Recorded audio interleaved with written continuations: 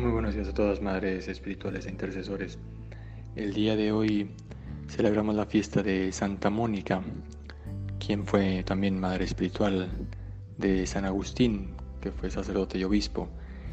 Y también es sábado, celebramos también pues la fiesta de la Santísima Virgen María.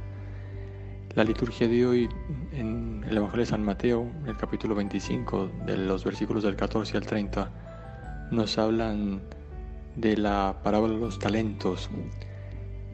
Cuando Jesús habla de estos tres personajes, a los cuales uno dejó cinco talentos de plata, a otros dos y a otro uno.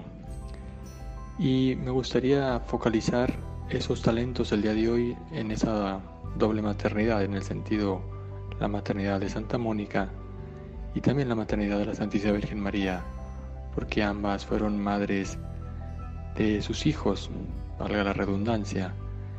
En Santa Mónica estuvo rezando constantemente por la conversión de San Agustín y, después llegó a ser sacerdote y obispo, un gran santo. Y en María vemos que es la Madre de Dios. Y esta maternidad de María pues dice relación a la persona de Jesús, el Hijo de Dios.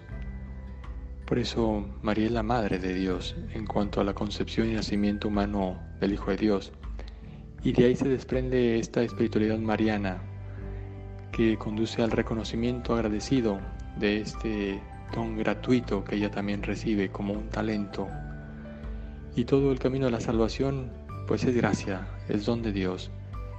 Y por eso María se presta como instrumento fiel que se abre al don divino con plena conciencia y responsabilidad.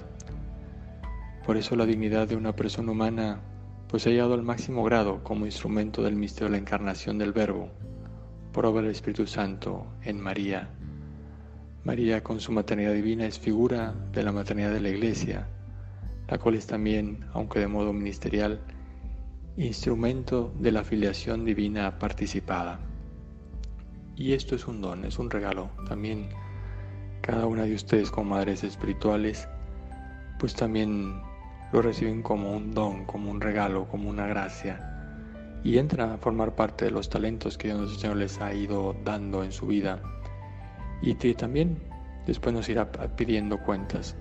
Por eso este don se tiene que acrecentar se tiene que cultivar, se tiene que cuidar, se tiene que proteger, para que de esa manera también de sus frutos. Santa Mónica lo supo hacer, orando y sacrificándose constantemente por su hijo San Agustín, hasta que recibió la conversión. Y también cada uno de ustedes tiene que seguir orando por los hijos espirituales que nuestro Señor les ha ido dando durante su vida. Y como ustedes también tienen que ofrecer esos pequeños sacrificios para que esas vocaciones sacerdotales puedan perseverar, puedan también ser testimonios y testigos del Evangelio. Vamos a seguir pidiendo por cada una de ustedes por su maternidad para que la cojan como un don, como un regalo de Dios, pero también por los sacerdotes, para que realmente pues haya sacerdotes santos al estilo de San Agustín. Que Dios les bendiga en este día en nombre del Padre, del Hijo y del Espíritu Santo. Amén.